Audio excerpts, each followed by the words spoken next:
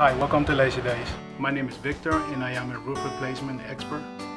Our RV body shop is equipped to perform complete roof replacement on most making models of RVs.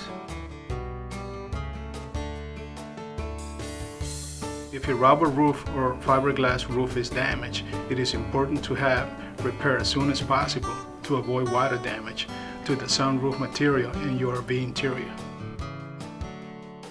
If your RV roof damage is covered by your insurance policy, we're authorized to perform repair service for the leading insurance carriers, making it easy for you. With more than 37 years experience, our RV Body Shop is on Right It is one-stop shop capability.